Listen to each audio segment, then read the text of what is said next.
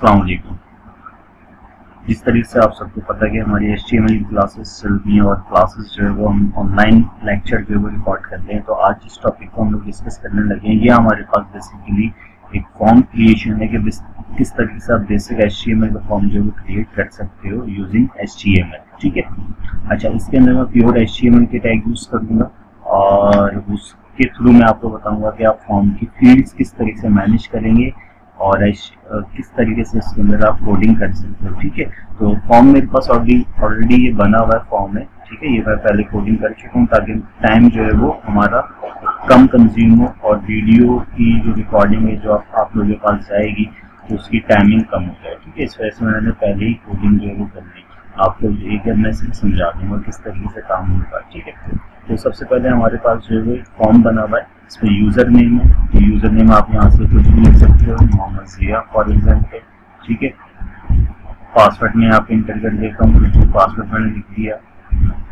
Email ID मैंने insert कर दी के ईमेल आईडी मेरे पास क्या है? ठीक है।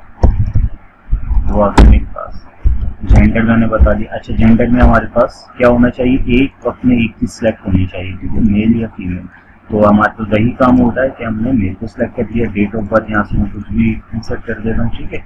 मैसेज जो है मैं एक यहाँ पे राइट कर देता हूँ, ठीक है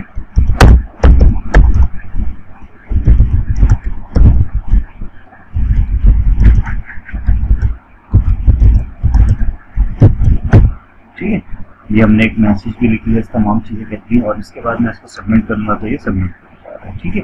तो ये काम आप हमने किस तरीके से देखना है, ये काम हम लोग करते हैं तो उसके लिए सबसे पहले अब हम लोग चेक करते हैं कि किस तरीके से हम इसकी कोडिंग करेंगे। अच्छा ये जो कोडिंग जो है, मैं नॉट पैड प्लस प्लस पे करता हूँ और सॉफ्टवेयर ये मैं ऑन कर लेता हूँ, ठीक है? ये मेरी कोडिंग हुई थी है। सबसे पहले अगर हम बात करें, कुछ बेसिक चीज़ें, आपने एच का टैग ओपन करना है एच का टैग क्लोज करना है, ठीक है? उसके बाद हेड ओपन करना है हेड को क्लोज करना है। के अंदर आप जो यूज़ करें टाइटल यूज़ करते हो टाइटल आपने दे दिया कि कोई भी फॉर्म का नेम दे दो फॉर एग्ज़ाम्पल आपने जो है वो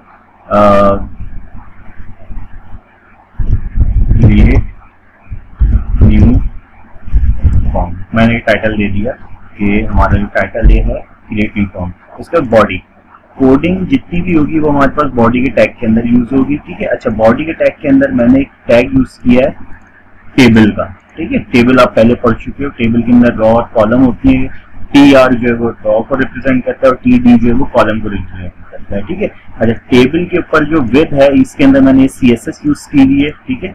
सी एस एस इस्तेमाल की हुई है सी एस एस कैसे पता लगा कि स्टाइल का टैग जहाँ पे भी आता है स्क्रीन डट के वो मतलब सी एस एस है, ठीक है? ये सी एस एस मैंने अप्लाई की हुई है। और टेबल के ऊपर।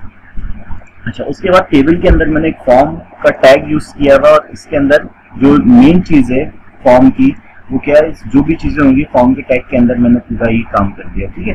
अब सबसे पहले हमारे पास क्या है? लेबल लेबल हमारे पास क्या होता है? जैसे ये लिखा हुआ आ रहा है आपको यूज़र नेम ठीक है, ये लिखा हुआ आ रहा है यूज़र नेम यूज़र नेम को यहाँ पे मैंने लिखा एक कॉलम के अंदर तो उसके लिए लेबल लगाया। अब इसके अंदर जो भी कुछ मैं राइट कर रहा हूँ, ये कहलाती है इनपुट फ़ील्ड इनपुट फ़ील्ड बनाने के लिए हमने क्या लिखा? नेक्स्ट कॉलम के अंदर इनपुट टाइप टैक्स और टेबल उसको क्लोज कर दिया। ठीक है? तो ये हमारे पास एक फ़ील्ड ये बन गई। नेक्स्ट फ़ील्ड में हमारे पास अगेन एक लेबल है और उसके साथ पासवर्ड लिखा हुआ है। तो अब पासवर्ड हमें यहाँ पे पासवर्ड क्या करना होगा? ये वाली फ़ील्ड एज इट इज़ मैंने यहाँ पे यहीं पे रखी और यूज़र नेम की जगह मैंने पासवर्ड राइट कर दिया। और यही फ़ील्ड मैंने एकदम एग्जैक्टली यहाँ पे राइट करी। बस टाइप में क्या लिख दिया मैंने? पासवर्ड क्योंकि ये जो है मेरे पास फ़ील्ड जो है वो पासवर्ड की है, उसके अंदर हम पासवर्ड ठीक है? उसके बाद नेक्स्ट फ़ील्ड हमारे पास है ईमेल की। तो ईमेल भी हम लोग इसी तरीके से लेवल यूज़ जितने भी लेवल है लेवल का टाइप सिंपल यूज़ होगा और इनपुट टाइप जो है मैंने इसकी ईमेल कर दी, क्योंकि ईमेल मुझे राइट करना है, ठीक है? उसके बाद मेरे पास ऑप्शन है जेंडर जेंडर का लेवल बनाया अच्छा जेंडर में हमने रेडियो बटन यूज़ करने होते हैं। रेडियो बटन हम किस तरीके से यूज़ करते हैं? भैया रेडियो बटन हम किसे कहते हैं? रेडियो बटन बेसिकली हम उस चीज़ को बोलेंगे जहाँ पे मुझे एक से किसी दो ऑप्शन में से किसी एक को अगर सिलेक्ट करना होगा तो वहाँ पे मैं जो यूज़ करूँगा वो रेडियो बटन को सिलेक्ट यूज़ करूँगा, ठीक है? इसी तरीके से जैसे कि हमारे पास मोस्टली ऑप्शन आता है ना कि जेंडर में या तो मेल सिलेक्ट करोगे या फीमेल सिलेक्ट करोगे तो अगर दोनों में से कोई एक चीज़ अब आपने सिलेक्शन करनी है तो वहाँ पर रेडियो बटन यूज़ होगा। अगर आपके पास ऑप्शन आ जाए जैसे कि आप कौन कौन से कोर्स करना चाह रहे हो, सही है? M S office C I T D I T web designing अब इसमें से आप दो तीन कोर्स कर सकते हो, ठीक है? तो आप मल्टीपल चॉइस कर सकते हो, उस पर आप चेक लगाते हो, वो कहलाता है चेक बॉक्स चेक बॉक्स आगे देखेंगे, ये अभी हमारे पास एक रेडियो बटन जहाँ पे हमें किसी एक की सिलेक्शन करनी होती है, ठीक है? तो सबसे पहले मैंने यहाँ पे लिखा इनपुट टाइप रेडियो बटन उसके बाद नेम जेंडर जीई एन मतलब दोनों को एक ग्रुप के अंदर होना ज़रूरी है, तभी जो है वो ये अलग अलग सिलेक्ट करेगा। अगर मैं नेम का एट्रीब्यूट हटा दूँगा तो वो अलग अलग सिलेक्ट नहीं करेगा, ठीक है? उसके बाद मैंने और दिया, अगर मैं चलिए दिखाता हूँ आपको ठीक है? सबसे पहले मैंने ये अप्लाई किया। अभी क्या आ रहा है मेरे पास? जस्ट मेल आ रहा है। सही उसके बाद मैं यहाँ पे इसको राइट कर देता हूँ। ये क्या आ गया? रिफ्रेश करते हैं फीमेल आ गया। ठीक है? अब दोनों सिलेक्ट हो रहे हैं। लेकिन अगर मैं यहाँ से नेम का एट्रीब्यूट हटा देता हूँ इनकेस सही नेम का एट्रीब्यूट अगर मैं हटा देता हूँ, अब क्या होगा? ये भी सिलेक्ट हो रहा है और ये भी सिलेक्ट हो रहा है। तो इस वजह से हमने नेम का एट्रीब्यूट जो है वो दोनों में लगा के रखना है और दोनों को सेम नेम जो है वो असाइन करना है ताकि एक ग्रुप की कैटेगरी के अंदर आए। सही? अब देखो, अब मेरे पास ये अलग हो रहा है सिलेक्ट और ये अलग हो रहा है सिलेक्ट उसके बाद डेट ऑफ़ बर्थ ये लेबल होता है, ये लिस्ट हम सिलेक्ट करते हैं लिस्ट बनाते हैं। लिस्ट बनाने के लिए हम क्या करेंगे कि लिस्ट बनाएँगे और लिस्ट बनाने के लिए सबसे पहले एक लेबल बनाया, ये लेबल मेरे पास आ गया। उसके बाद सिलेक्ट का ऑप्शन यूज़ करेंगे, ठीक है? सिलेक्ट का ऑप्शन हमारे ठीक है? तो हमारे पास सिलेक्ट का टैग मैंने ओपन किया। सिलेक्ट के टैग को ओपन करने के बाद इसको क्लोज करेंगे। और यहाँ से मैं एक ऑप्शन यूज़ करूँगा, ठीक है? फ़िलहाल अभी मैं इसको हटा देता हूँ इनकेस अगर मैं इसको हटा दूँ यहाँ से। एक चीज़ मैं आपको करके बता देता हूँ, ठीक है?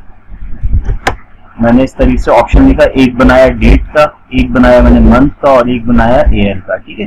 तीन सिलेक्ट के ऑप्शन इस तरीके से बना दिए और उसके अंदर लिख दिया सब। अब हम क्या करेंगे? अब हम यहाँ पे चेक करते हैं कि जिसमें मेरे पास ये डेट आ रहा है तो यहाँ से मैं डेट सेलेक्ट करता हूँ, यहाँ से ईयर मंथ सेलेक्ट करता हूँ सारी चीज़ें। लेकिन अब ये चीज़ आ रही है ना देखो ड्रॉप डाउन लिस्ट तो बन गई, लेकिन यहाँ से मैं डेट को सिलेक्ट कर पा रहा हूँ। मुझे अब नेक्स्ट उसमें डेट को थोड़ी सिलेक्ट करना, मुझे तो यहाँ से नंबर को सिलेक्ट करना पड़ेगा। तो हम यहाँ पे किस तरीके से लगाएँगे? यहाँ पे हम लगाएँगे ऑप्शन के। अच्छा। ठीक है। तो हमने यहाँ से जो है वो इसको सिलेक्ट करना पड़ेगा। उसके बाद तो अब देखो इसके अंदर ये सी सिलेक्शन आ रही है मेरे पास। यहाँ पे क्या हो रहा है, ये हाइट है। अब मैं इसको दोबारा अगेन सिलेक्ट नहीं कर सकता। क्यों सिलेक्ट नहीं कर सकता? क्योंकि यहाँ पे मैंने यूज़ किया हुआ किस चीज़ को? डिसेबल और सिलेक्टेड मतलब डिसेबल का मतलब ये बाय डिफ़ॉल्ट जो है वो हमारे पास डीडी का जो टैग होगा हमारे पास डीडी की जो लिस्ट होगी, वो क्या होगी? डिसेबल होगी। डिसेबल का मतलब इसको हम दोबारा सिलेक्ट नहीं कर सकते। सिलेक्टेड बाय डिफ़ॉल्ट जो इसके अंदर सिलेक्ट आए वो डीडी ही आए ठीक है? मतलब डेट सिलेक्ट आए इस वजह से हमने ये ऑप्शन यूज़ किया। उसके बाद हमारे पास ऑप्शन आ रहा है टेक्स्ट बॉक्स ये मैसेज एरिया होता है हमारे पास, ठीक है? और टेक्स्ट बॉक्स इसके अंदर मैंने वी अलाइन का मतलब होता है वर्टिकली अलाइनमेंट वर्टिकली अलाइनमेंट मैंने इसकी क्या की? टॉप कर दी। वरना अगर ये वर्टिकली अलाइनमेंट में ना लगाऊँ तो ये आपके पास कुछ इस तरीके से आ रहा है। ठीक है? मिड में आ रहा है इसके। तो मिड में ये जो है हमें कुछ बैलेंसिंग थोड़ी सी आउट लग रही है, ठीक है? इस वजह से आप हमने इस चीज़ को यूज़ करते हैं, ठीक है? आप करना चाह रहे हैं मिड में मिड में इसको कर सकते हैं। बाकी लेवल वही आ गया टैक्स एरिया रॉस मुझे कितनी चाहिए? फोर रॉस चाहिए मतलब यहाँ पे एट अ टाइम जो डिस्प्ले होनी चाहिए रॉस वो फोर होनी चाहिए। तो इस वजह से हमने यहाँ पे फोर रॉस की स्पेसमेंट बना दी, ठीक है? प्लेसमेंट बना दी। उसके बाद बटन जो है वो हमने सबमिट रखना है और फॉर्म को क्लोज करना है टेबल को क्लोज करना है, ठीक है? तो याद है जो भी आप काम करते हो, पहले टैग को ओपन करोगे, फिर क्लोज करोगे, सारी चीज़ें करोगे, ठीक है, उसके बाद आप काम करोगे। अब इसकी मुझे जो है वो आप फीडबैक जो है वो दोगे, ठीक है?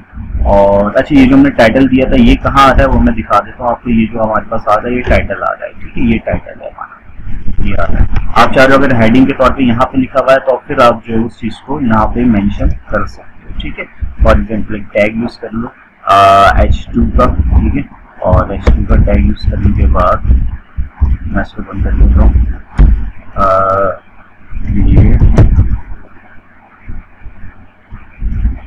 फॉर्म ठीक है। क्रिएट यूज़र फॉर्म ठीक है। इसके बाद में इसमें यू आर का टैग दे देता हूँ, ठीक? ये आ गया ठीक है। इस तरीके से आप काम कर सकते हो। आज की क्लास को हम इतना ही रखते हैं इंशाल्लाह नेक्स्ट क्लास में हम फर्दर डिस्कस करेंगे एचटीएमएल के अंदर। किस चीज़ को आपने इम्प्लीमेंट करना है, काम करना है, उसके बाद मुझे व्हाट्सएप करना है फीडबैक देना है, ठीक है? फिर मैं नेक्स्ट क्लास जो है आपको सेंड करूँगा, ठीक? तो पहले आप मुझे करके दिखाओगे, सही है? फिर मैं आपको नेक्स्ट क्लास जो है सेंड करता हूँ, उसके बाद हम आगे डिस्कस करेंगे, ठीक है? कोई भी कंफ्यूजन है तो मुझे आप व्हाट्सएप पे वॉइस मैसेज सेंड कर सकते हो, ठीक? Thank you